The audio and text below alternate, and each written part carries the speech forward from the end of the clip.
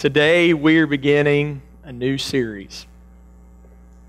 And the title of this series is Faith Shakers. And what we're going to be doing in this series is, well, just like the, the title says, we're going to be looking at some things that many times will rattle, will really shake our faith. Maybe pull us away from God or, or maybe even cause us to doubt God. This week I had some, some startling news. I got a call. Julie uh, was in the car with me, and uh, one of the members from Robertsdale, Brian Johnson, called. And a lady that I baptized, her name was Angela. She's probably somewhere in her 40s, maybe early 50s. They came home and she had passed away. She was dead. And, and I don't know all the details as, uh, as to what took place. She had been battling health problems for several years, but she was just a, a sweet individual. And, and I'll never forget the day that we left, our, our last Sunday at Robertsdale, she just came up and she was crying in my arms, and she just kept saying over and over again, "I love you and your you and your family." You mean so much, you and, and your family. And you know, you, you look at, at someone like that, and it causes you to ask a question Why do bad things happen to good people? How, how many of you have ever asked that question, or maybe you know someone that's asked that question?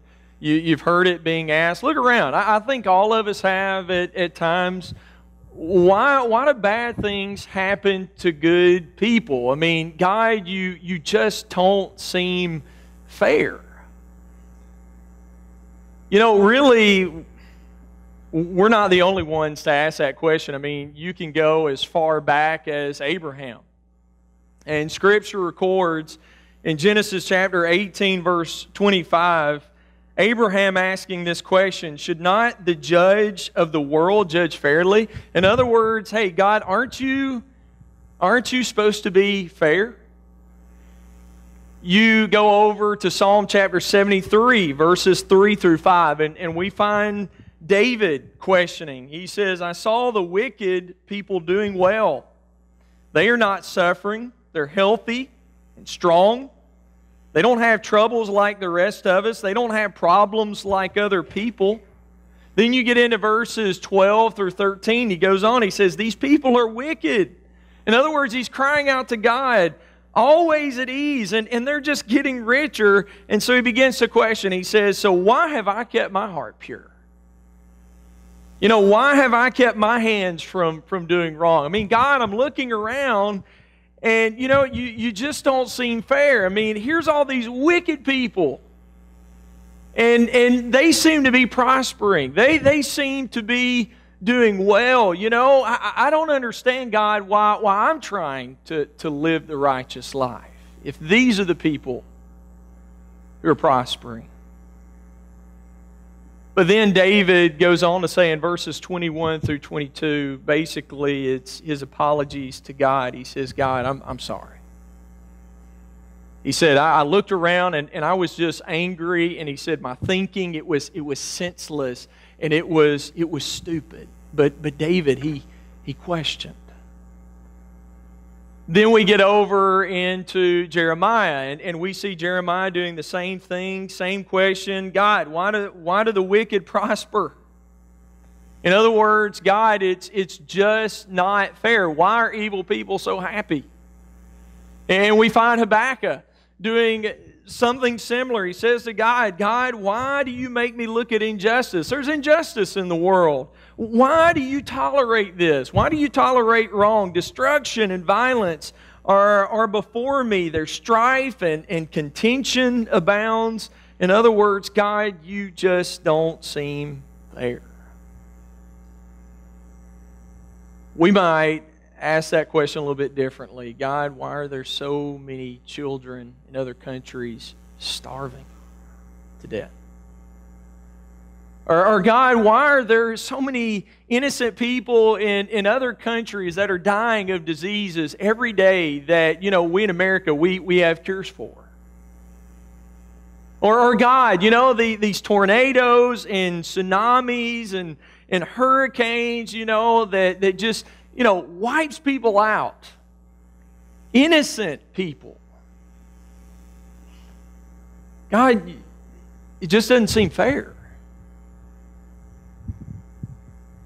But you know, really, over my 20 years of ministry, I would say most of us are not saying, God, why is all this happening to them? Why is this happening to all those people? I, I think the question that most people ask is, God, why are these things happening to me? God, why, why is this happening to, to my loved ones? In, in other words, for most people, this is a very personal question. It was for me. As I've told you not too long ago, Julie and I, we lost our first child. And, and after we, we lost our, our, our baby, I, I just remember asking myself, and, and I know Julie and I, we talked about this, and, and I don't know if she questioned as much as I did but, but I wanted to know, God, why? Why do I look around and, and over here is a family that didn't want to get pregnant. They got pregnant out of wedlock and they didn't even want the child. And, God over here is another family and, and they're doing drugs and, and their baby, it, it came out healthy. And God, here's a family over here, and, and they had a baby, and, and God, they're not even taking care of those kids. They don't care anything about those kids. But here I am, God, I'm a Christian, and I serve you. And my child dies. Why? And that may be where some of you are right now. You're, you're just questioning, God, why? Why did you let me get abused? When I was a child, why, why did you let him or her do that to me? Or, or, God, why did our marriage fall apart? I mean, all I wanted was, was a good, strong marriage.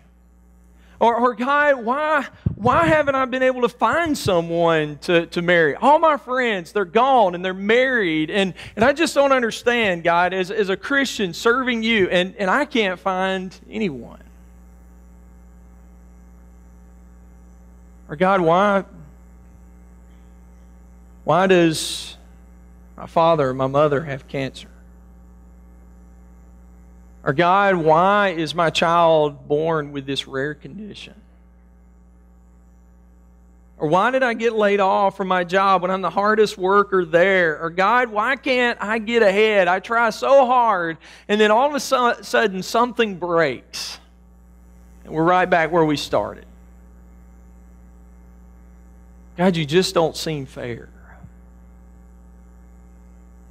And you know, I really believe that for the most part, most of us, we want to give God the benefit of the doubt, right?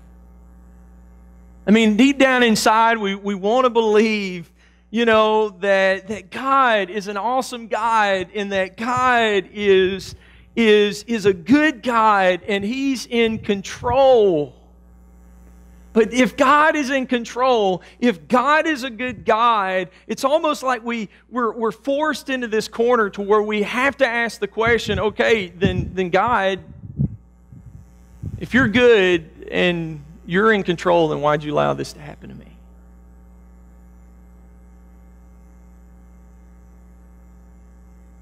we begin to question whether we can trust God, or, or maybe we even begin to doubt that God even exists. God just doesn't seem fair. And that's what I want us to, to talk about this morning. And really, before I start throwing out some things, I want you to know this is not going to be one of those lessons where I give you three points and you walk out of here going, oh man, I've, I've got all the answers now man, let's go do some lunch. I feel so much better now.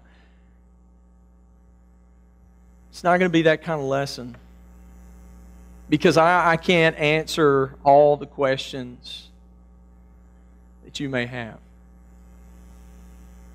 But what I can do this morning is, is I can share with you some very biblical, very possible reasons as to why bad things happen to good people. Very biblical reasons as to why bad things many times happen to, to you and me. And, and hopefully, by the end of this lesson, hopefully, your faith will be strengthened instead of down the road being shattered or shaken.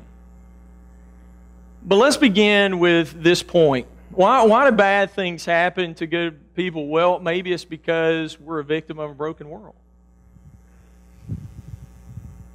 You know, you go into Genesis chapters 1 and Genesis chapters 1 through 3, and we begin to see that God has created the world and everything is good, right?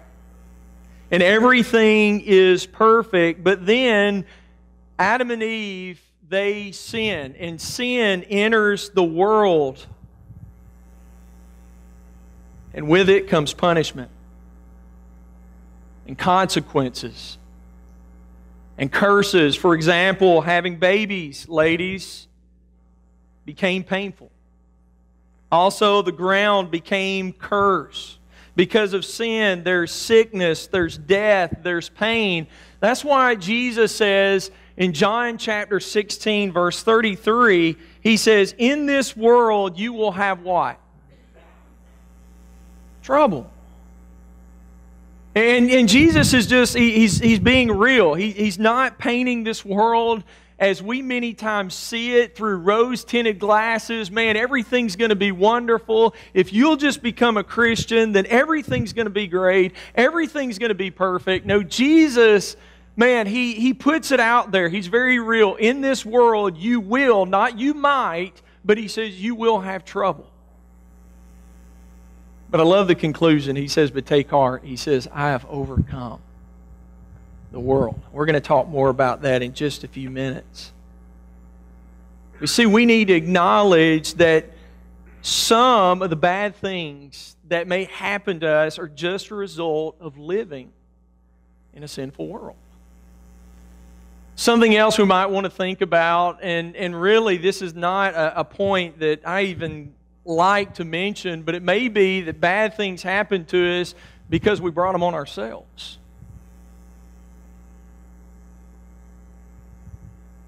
You say, well, Slate, what do you mean? Well, we talked about this not too long ago that God has given us the freedom to choose.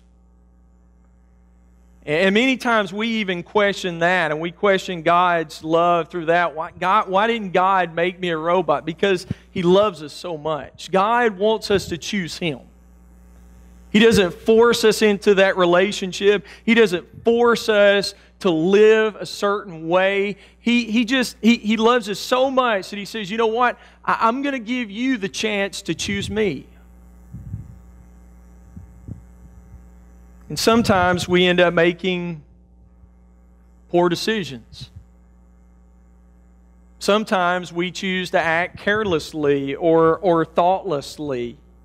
I mean, really, that's most accidents, right? I mean, they're, they're due to, to carelessness or, or thoughtlessness. If, if that person involved in that accident had only been more alert, if they had only been more cautious, if they hadn't been texting, and you know, that's the big law in Florida right now don't text and, and drive. If that individual had been more thought, thoughtful, more, more careful, and maybe that wouldn't have happened. If they had just, you know, made sure that the gun was on safety. You know, whatever the, the case may be, sometimes we, we just act thoughtlessly, carelessly, and, and bad things are the result. Sometimes we also act out of ignorance. And when we do that, we often suffer. In, in fact, um, you know, not too long ago, well, I would say several years ago, Liesel was very small. And she had an ear infection, and we took her to the doctor, and the, the doctor said, Yeah, she's got this infection. We're, we're going to put her on penicillin. And so they, they put her on penicillin, and all of a sudden, whelps, I'm telling you, bigger than softballs began to show up all over her body. And she was just blazing with fever, and she was just lifeless. And, and, and we took her back to the doctor, and, and they said, Oh, no, she's, she's had an allergic reaction to the penicillin. And the doctor said, The bad thing is what you see on the outside is bad, but what's going on on the inside is even worse. And she said, You know what? The, the next time, Lord willing, there won't be a next time, but if, if Liesl were to get a hold of penicillin again, as bad as this would, it could kill her. But you know, the, the doctor didn't do that on purpose, and we didn't give that to, to Liesl on purpose, just out of ignorance, you know, not knowing any better, knowing how she was going to, to respond to the medicine. Something bad happened. Also, we're, we're free to, to act deceitfully and maliciously. We do that sometimes. Cain maliciously murdered his brother Abel in Genesis chapter 4, verses 1 through 15, which caused him a lifetime of grief and trouble. Think about Jacob and how Jacob deceitfully, you know, took his brother's birthright. And, and man, when Esau found out about it, he became angry and it damaged their, their relationship. And, and, and Jacob was forced to leave his mom and his dad, and he goes to, to his uncle Laban's house, and, and there, you know, he gets in all kind of trouble with his uncle. His uncle also deceives him. Also, think about David, who acted deceitfully and maliciously when he killed Uriah. And in 2 Samuel chapter 11, verses 14 through 21, you know, we, we read about how David worked to get Uriah killed. And, and then later on, we see David asking for forgiveness, and God forgave David, yes, but he still had to suffer for the mistake that he made, along with others. You see, a lot of the evil in the world today is because people choose to be vicious and, and mean. And a lot of people suffer because of that. You, you think of a lot of the, the school shootings, or you think about what took place in Colorado uh, a while back where a guy, a gunsman, walks into a movie theater and, and just starts shooting. And so you have the consequences of sinful behavior, not just for the individual, but for others as well. But there are consequences. Listen to Psalm chapter 32, verse 10. The psalmist puts it like this Many sorrows shall be to the wicked, but he who trusts in the Lord, mercy shall surround him. But many sorrows shall be to the wicked. And I just want to throw an example out of how our, our sinful behavior can really uh, cause us a lot of pain and, and suffering. Let's say you go to a party and you drink and you get drunk and you get behind the, the wheel of a vehicle and you're driving home and maybe you're pulled over by a policeman and you know they take you to jail they take your license or maybe you're driving and you hit someone like what happened at robertsdale to, to one of our ladies. Her her husband or not her husband but her son was a preacher and he was hit by a drunk driver and he was killed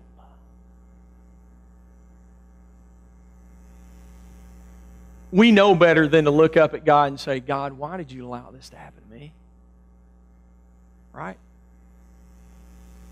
I mean, we know better than to say, God, why did you, why did you allow the police to take my license? Why, why did you, you know, uh, allow me to, to go to jail? We know better than that.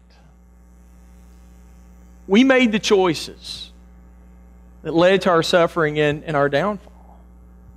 I think about Galatians chapter 6, verses 7 through 8, where Paul writes, Do not be deceived, God cannot be mocked. He says, A man reaps what he sows. Whoever sows to please the flesh, notice what you get in return. From the flesh, you will reap what? Destruction. And so you reap what you sow. It's this idea, okay, we get to choose, but through the choices we make, many times those lead to destruction, or he goes on to say, whoever sows to please the Spirit, from the Spirit will reap eternal life. That kind of goes back to what David Barton was saying as he was making reference to the Lord's Supper this morning. We have choices. But sometimes our choices cause us to suffer and even cause others to suffer. But let me mention something else, and, and maybe you can draw encouragement from this next point. It's kind of a, a change, kind of different. Maybe God wants to do something big. You know, you, you look at John chapter 9 and you see the story of this, this blind man. And, don't you know, if you were blind, you would have a lot of questions, right? I mean, you would be questioning, okay, God, why me?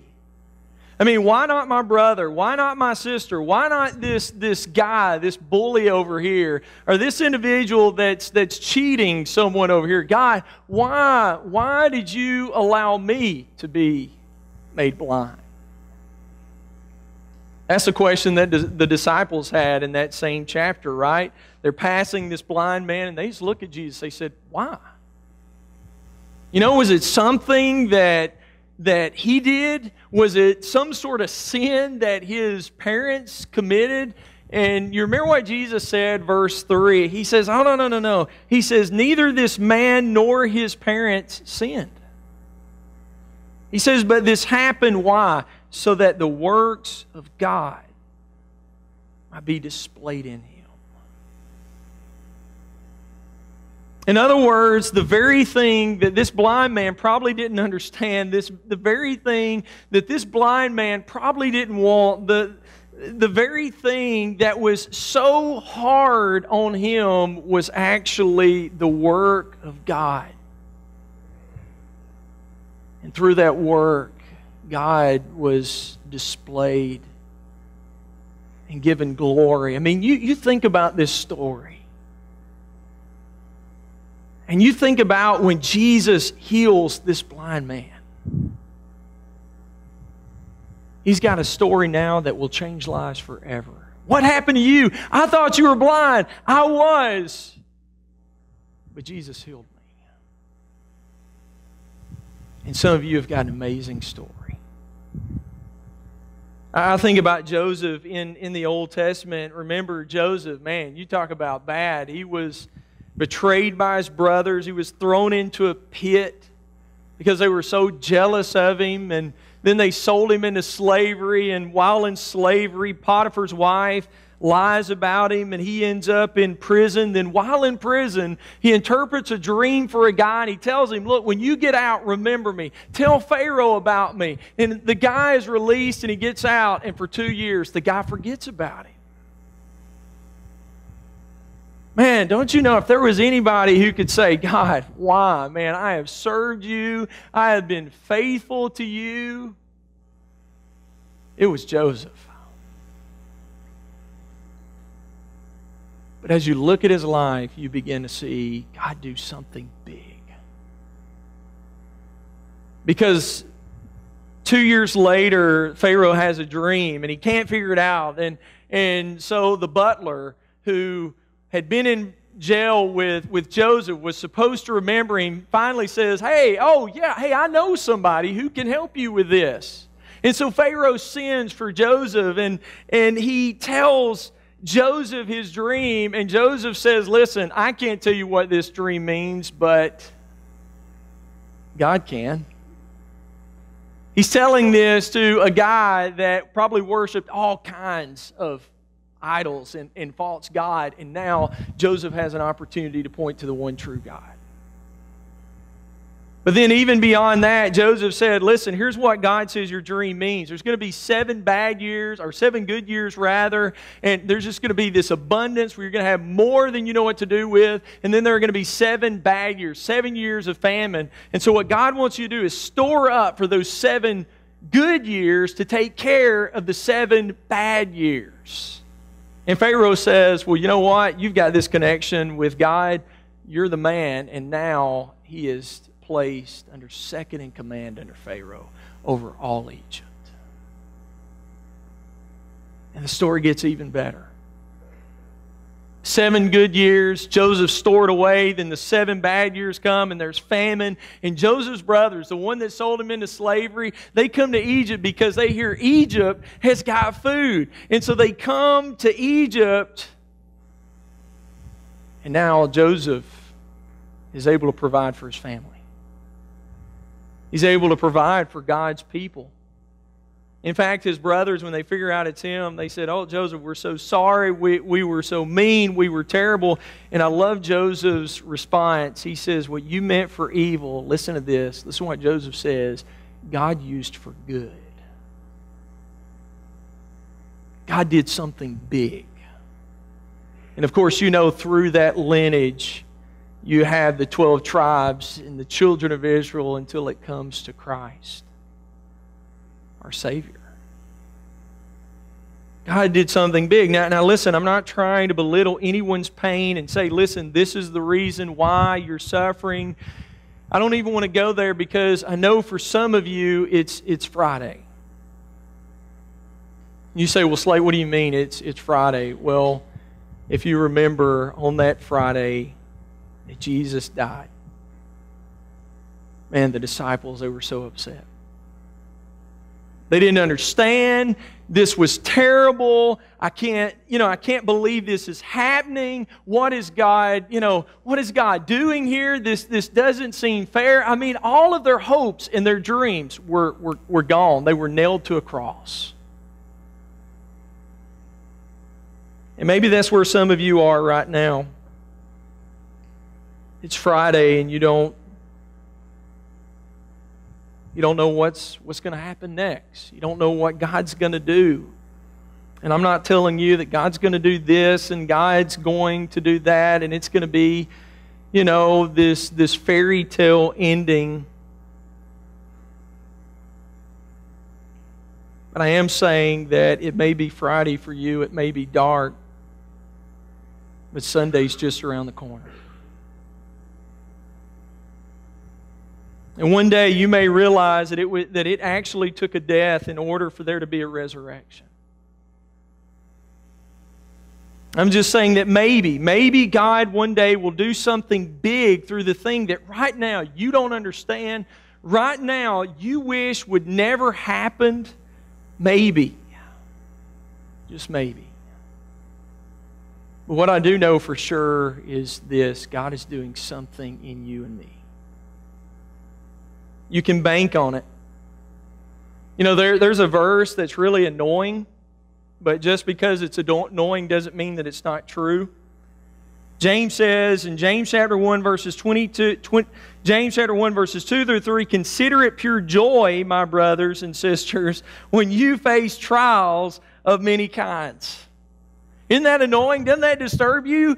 Joy I I, I can have joy in the face of trials. You know, during, during hard times.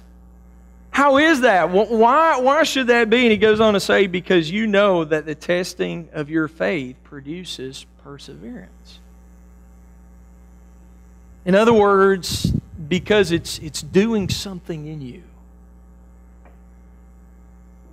One of the attitudes that I've tried to develop over the years is I'll, I'll have people who'll come up to me and they'll say, Man, this is going on, this is going on. And, and you know, I'm just, oh, things are terrible. And my, my response now, I, because I really don't know what else to say, but I do know this, is I'll just look them in the face and say, Man, God must be doing something really big in you right now.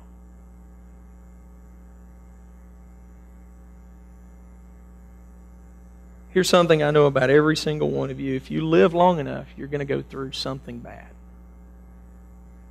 Something you're not going to like, something you're not going to understand. But just maybe over time, you'll be able to look back and say, you know, I wouldn't have chosen that, and I definitely wouldn't want to go through that again, but it made me different. It made me better. It made me stronger. For some of you, you may say, man, it drew me closer to God. For others of you, you may say, man, I was at the lowest point, and it was when I finally hit the bottom that I began to look up, and God saved me. There was a family at Robertsdale. And I hope y'all don't mind me going back and telling the, some of these stories. I was there for 14 years, so got a lot of stories to tell. But there was a family, and her name was Mary Ryan, and I would go and visit her mother. Her mother had bad health issues, and Mary Ryan had left the church. Um, she, she grew up uh, going to church with her mom, but someone said something negative to her, I think, at church. She had a bad experience, and from that point on, she said, You know what? I'm not going back.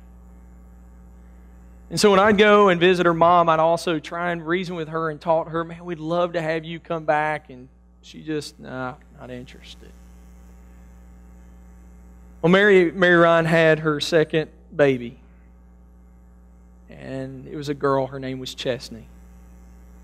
And she, one morning, laid Chesney on her back on the, the floor, and she went to check on her son who was in the bathtub. And when she came back, Chesney somehow, even as little as she was, had rolled over and she died. SIDS. Man, she was just heartbroken. But it was at that point that Mary Ryan began to search for God in her life again. And through that, I was able to set up a series of studies and ended up baptizing her. And then um, several months later, I ended up baptizing her husband, Justin. And man, what an asset both of them are to the church at Robertsdale now. I'm not telling you that to say that you know, after they came to Christ, that everything was perfect, that they didn't hurt, that they didn't experience pain, and that they still don't suffer from their loss. But there's one thing that I've heard them say time and time through tears.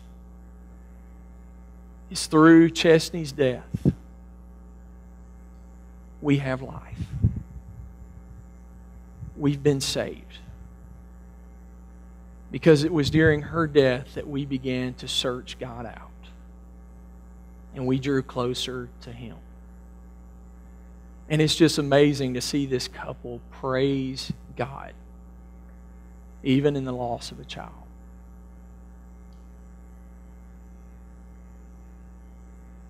You know, the question so many people ask, why do bad things happen to good people, is really a flawed question.